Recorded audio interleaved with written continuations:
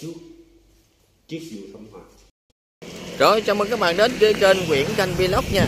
Thì à, hôm nay thì Nguyễn Nguyễn Thanh Vlog à, đã tới được à, khu di à, khu chứng tích Sơn Mỹ ở Quảng Ngãi nha.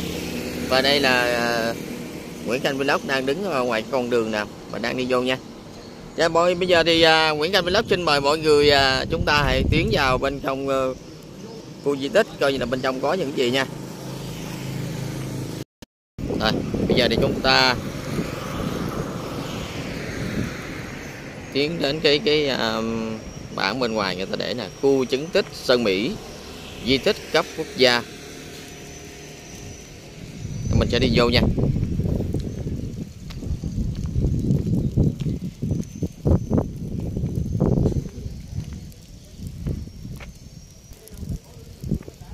Đây đây là cái con đường vô nè mọi người.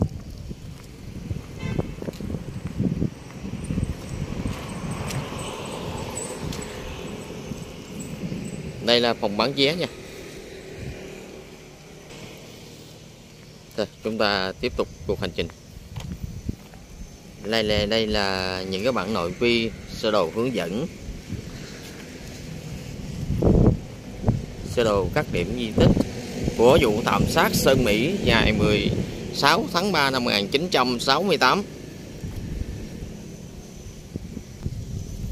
đây mình sẽ đi vô nha. Có những gốc cây cổ thụ rất là lớn rồi mọi người ơi.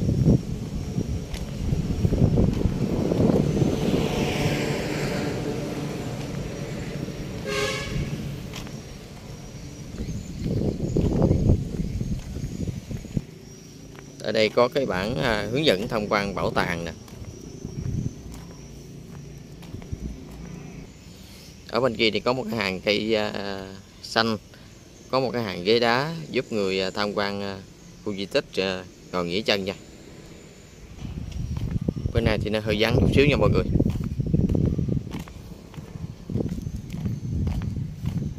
Này chúng ta tiến tới cái nhà trưng bày.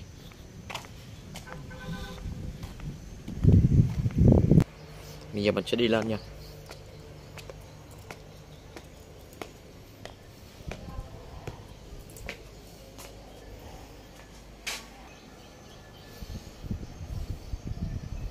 Đây là bên là ban quản lý khu à, chứng tích Sơn Mỹ. Là xóm Khê Thuận thôn Tư Cung xã Tịnh Khê thành phố Quảng Ngãi tỉnh Quảng Ngãi. Rồi mình chỉ đi vô nha. Đây là có tủ, có tủ sách nè mọi người. Này mình đi lên đây.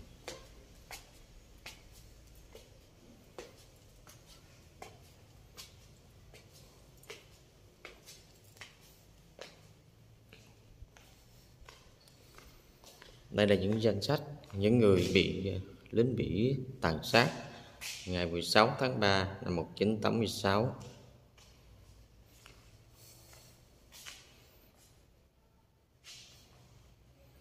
một cái bảng rất là lớn luôn nha.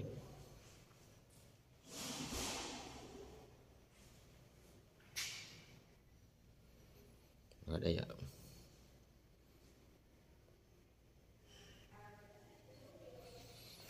Và đây là một cái câu chuyện mà những người bị thảm sát và những người đến ờ, Việt Nam Cộng Hòa. Người ta trao đổi là có nên cứu những người đó hay ở dưới con mương kia hay không? Thì một gã trung sĩ trả lời là một cách là kết liễu đề họ. Một tên chỉ quan bộ binh còn trẻ, trung úy William Caliber biết đấy tôi hỏi anh về những gì xảy ra ở đây.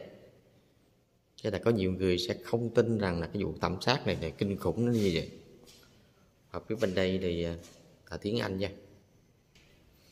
Chúng ta chỉ tiến đến à,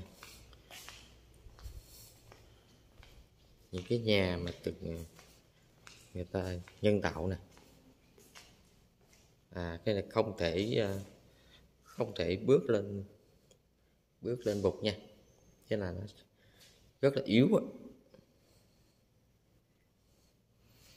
Đây.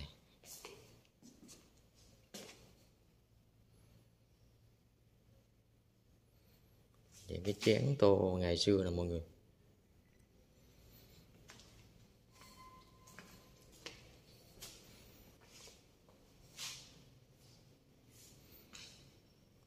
À, Ngô Đình Diệm và ông Edison Hoover là những kẻ phải chịu trách nhiệm về cuộc chiến tranh xâm lược của Hoa Kỳ ở Việt Nam. Này, những cái khu trưng bày à, đạn pháo rất là cổ xưa.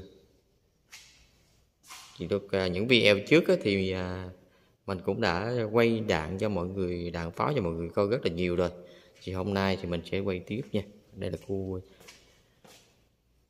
chứng tích lịch sử Sơn Mỹ ở tỉnh Quảng Ngãi. Và đây là bản đồ xác định mục tiêu càn quét của lính Mỹ vào ngày 16 tháng 3 năm 1968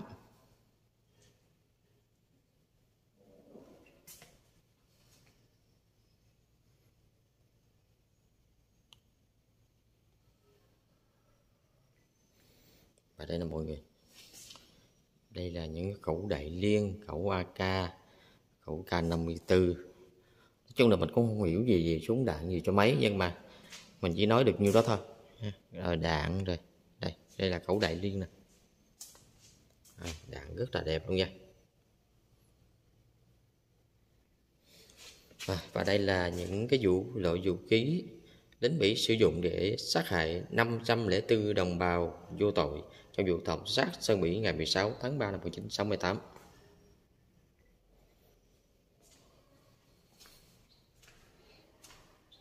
Và đây, đây là tại Cộng hòa Liên bang Đức, chị Võ Thị Liên kể về tội ác do lính Mỹ gây ra ở Sơn Mỹ ngày 16 tháng 3 năm 1968.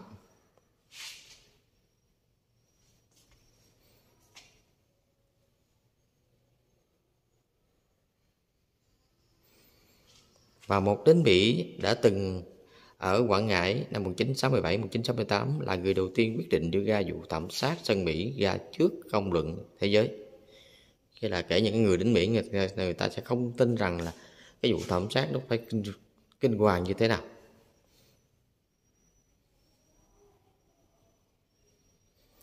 Đây là giày đến Mỹ rồi nấu cối rồi những cái à, liên lạc thông tin đó, rất là nhiều.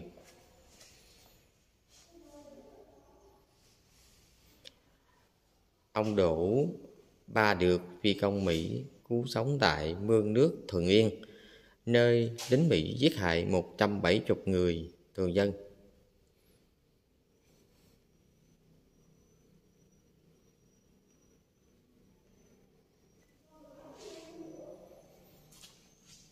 Này, đây là cái bản mà khi mình sáng sớm ra ngày 16 tháng 3 năm 1968 cũng như mọi buổi sáng ở bình thường khác thì nhân dân xã Sơn Mỹ, tức xã Tịnh Khê, huyện Sơn Tịnh đã bắt đầu một ngày lao động sản xuất thì bỗng nhiên pháo dịch từ đâu ở núi Râm, Bình Liên, chi khu Sơn Tịnh, tiểu khu Quảng Ngãi, bắn số xã hàng giờ liền vào hai xóm nhỏ. Và đó là cái vụ thảm sát rất là kinh hoàng.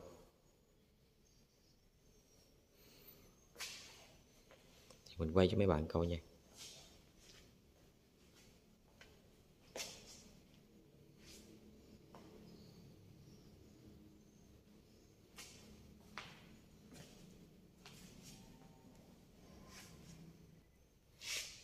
Đây là chiếc áo của cháu Trương Thị Hoa, nạn nhân bị lính Mỹ sát hại, còn sót lại trong vụ thảm sát.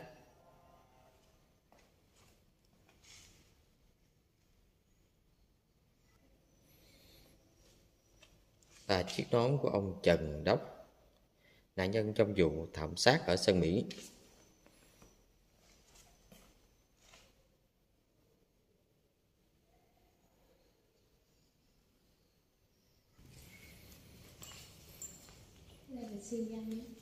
Đây, đây là cảnh xe dây dừa nha, nghề thủ công truyền thống của người dân xóm Khê Hội, thôn Cổ Lý, xã Tịnh Khê trước năm 1968 là những người dân đang sống rất là vui vẻ.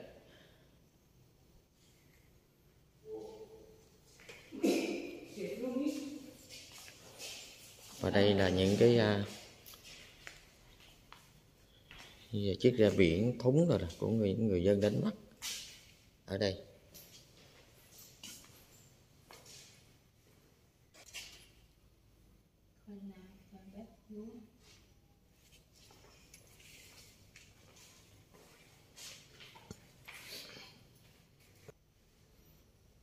Nhân dân xã Sơn Mỹ khai hoang lại đồng ruộng sau những ngày giải phóng quê hương năm 1975 ở đây ạ. Đây là sơ đồ địa hình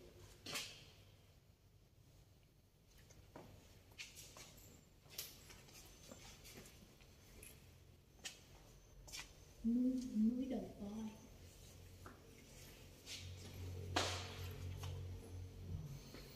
Đây mà lính Mỹ à, tàn sát hai thôn nè mọi người. Mọi người có thấy hai, người ta vẽ hai bên thôn mà bóp cháy không? Để lúc đến Mỹ, xả đạn vào, xả đạn, xả bơm vào.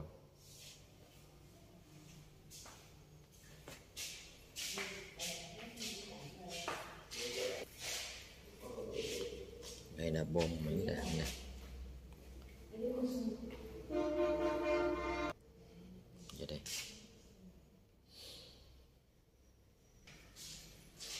Ở đây là hình ảnh mà xe máy ủi của lính Mỹ nha. Sau một năm 1969 thì quân đội Mỹ à, dùng xe ủi đất để phi tan một tội ác của chúng, một trong những tội ác của chúng.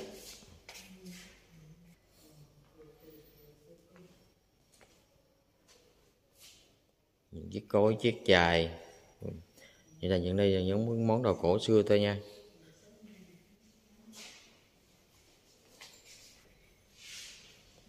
Đây là những hiện vật còn sót lại của nhà sư Đỗ Đỗ Ngộ, trụ trì chùa Tư Cung, nạn nhân trong vụ thảm sát Sơn Mỹ 1900 uh, ngày 16 tháng 3 năm 1968.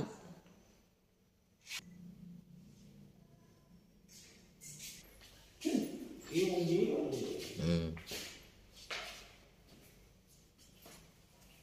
Chúc chúng tôi đi coi những những như tôi ở nhà lá.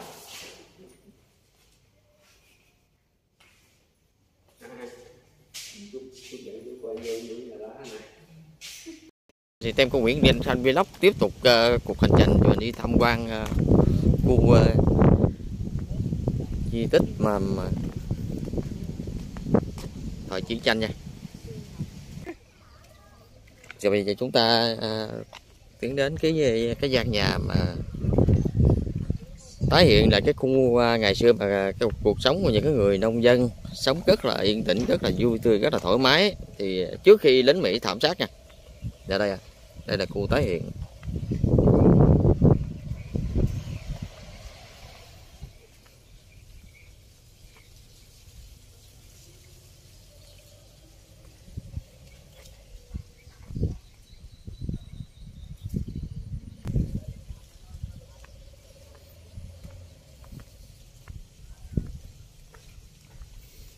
Ở đây đây là cái hồng chú ẩn nè mọi người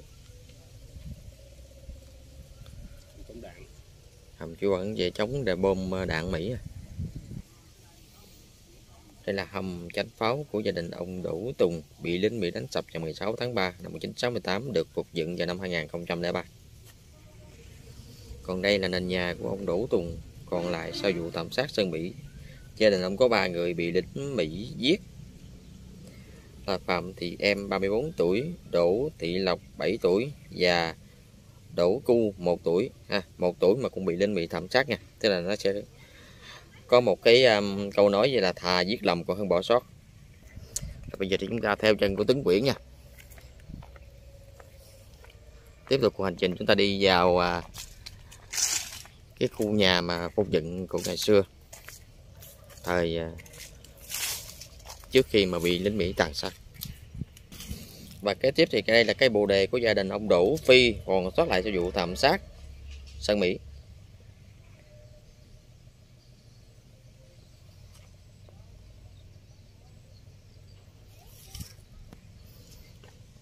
Đây là cái nền nhà nè mọi người. Đây là nhà của ông Đỗ Phi nha.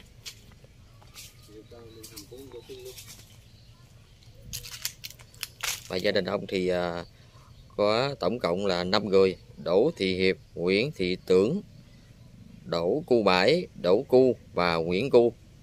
Năm 7 22 9 32 tuổi. Cái là bị lính Mỹ Mỹ Mỹ Ngụy đã tràn vào thì sẽ không còn người nào sống sót cả. Rồi chúng ta tiếp tục theo chân của tướng Nguyễn để mà đi vào à, cái ngôi nhà được phục dựng lại nha. Và đây cũng là một cái nền nhà à, ngày xưa bị lính Mỹ tàn phá và giết hại hết tất cả những người trong nhà từ nhỏ đến lớn từ già đến bé. Đây, trên cái con đường đi thì có những hàng ke hàng cao cây xanh hàng bông bụp. À, cuộc sống của người nông dân rất là yên bình rất là vui vẻ. Thì bỗng đâu có à, rất là nhiều tiếng súng đạn xả vào hai quay làng. Và đó là chính là có vụ thảm sát 504 người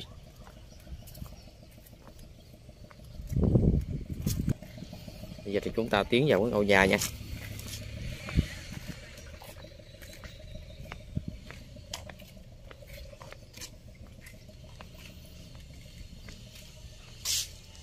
Tiến vào ngôi nhà đi.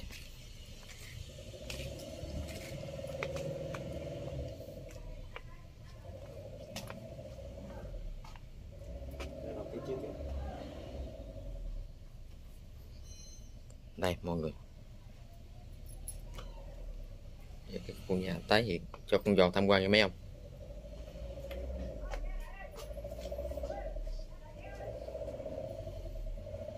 Là ngày xưa thì làm nhà bằng tre rất là nhiều nha tre không à.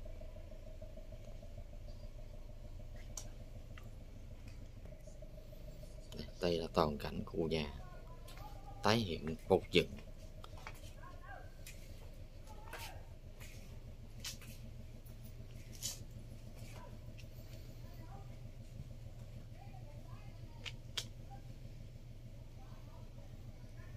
và nhà tranh của gia đình ông Đỗ Ký được phục dựng vào năm 2003 này. Rồi, chúng ta tiến vào cái gian bếp nha. Này tướng Nguyễn đang đứng. Đây gian bếp đây.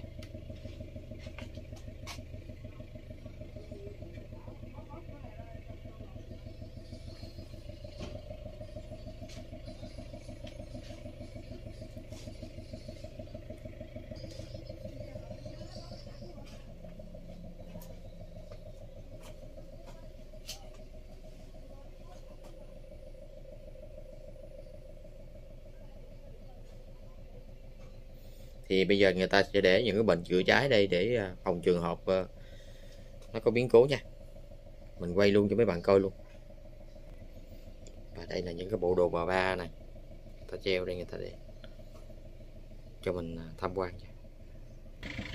Phía ngoài này thì à, có một cái dàn úp trén và ngày xưa thì người nông dân người ta cũng có nuôi bò đúng nha. Đây là con bò của ngày xưa rồi thời chiến.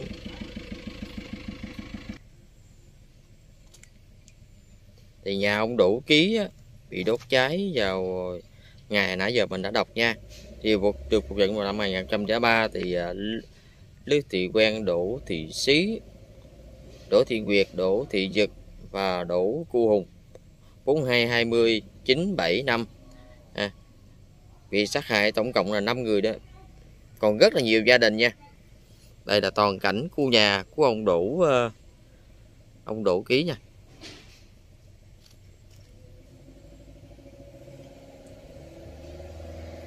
Rồi bây giờ chúng ta tiếp tục đi ờ, tham quan cái cái con mương mà đã chìm chết 504 người.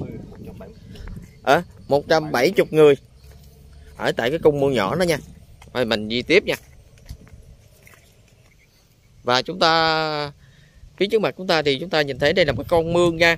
Cái con mương này thì à, đã dìm chết 170 người. Và đây mọi người nhìn thấy không ạ? Một cái con mương nhỏ như vậy thôi, nhưng mà lính ngụy tàn ác cái mức độ là không thể nào tưởng tượng được. Để chúng ta tiến tới cái bảng này coi như là cái gì nha. Là tại đoạn mương này ngày 16 tháng 3 năm 1968 thì lính Mỹ đã bắt dân làng tập trung và đẩy xuống lòng mương rồi xả súng, bắn chết 170 người. Và đây nha mọi người, đây là cái à, người ta người ta làm lại nè, cái bản này nè. Đó. Đẩy xuống mương và bắn chết bao nhiêu người đó đó? 170 người và mọi người thấy à, vì sao mà trên cái con đường xi măng này người ta in dấu giày với dấu chân người nhiều đâu mà đây là cái cái giống như tái hiện, phục dựng lại. Như là giày. Cái dấu giày đó là dấu dấu giày của lính Mỹ đó nha. Dấu chân nào mà to thì cũng là của lính Mỹ luôn, nhưng mà dấu chân nào mà nhỏ là của người dân Việt Nam mình là bị dụng trong vụ tàn sát 170 người tại cái con mương này nha mọi người. Đây là cái tượng đài ừ, của khu di tích nè bây giờ chúng ta sẽ tiến vào cái đền thờ 504 người. Rồi xin mời mọi người là đi uh, hãy đi cùng Nguyễn Thành Vlog nha. Tú Nguyễn thì đi trước rồi. Rồi thì chúng ta tiến vào gian thờ 504 nạn nhân. Trong vụ thảm sát uh, hai ngôi làng của Mỹ Ngụy.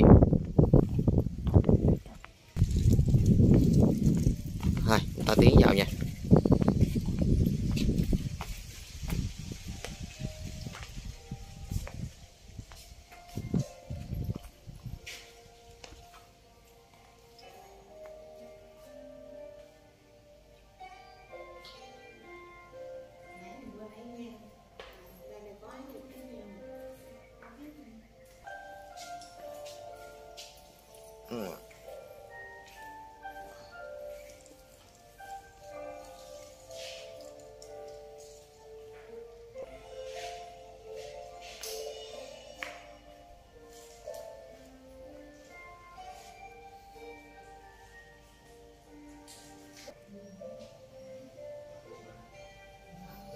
Đây là danh sách những người bị sát hại vào ngày 16 tháng 3 năm 1968.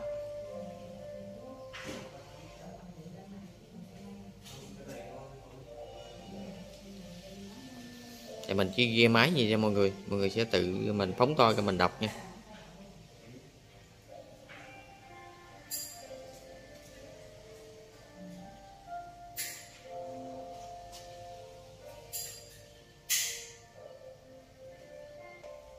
Một phía bên đây thì cũng có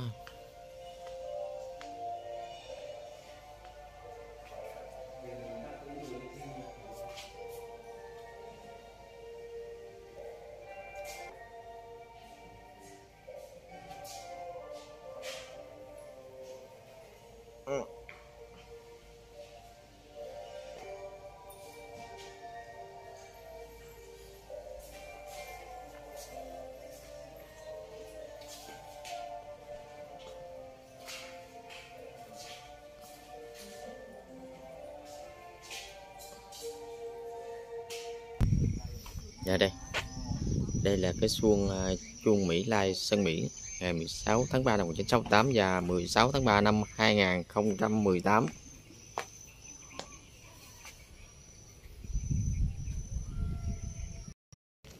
Rồi chào các bạn nha. À, Thì vừa rồi chúng ta đi uh, đã đi tham quan uh, khu chứng tích Sơn Mỹ thuộc tỉnh Quảng Ngãi. Thì uh, clip của Nguyễn Khanh Vlog đến đây cũng uh, xin kết thúc nha thì à, mong rằng mọi người đăng ký kênh, subscribe, chia sẻ và like dùm à, Nguyễn Canh Vlog nha. Và mình sẽ review những à, khu di tích, những khu du lịch có phong cảnh rất là đẹp.